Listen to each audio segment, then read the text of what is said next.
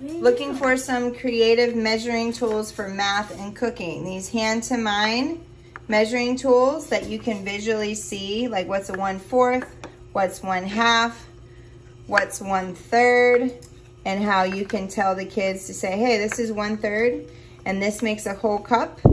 Um, I recommend these for definitely preschool and for second grade. However, I wish that they did stack, but it is hard to find visually, um, you know, fraction math looking measuring cups. So I do recommend these and we do use these for cooking time and for math time.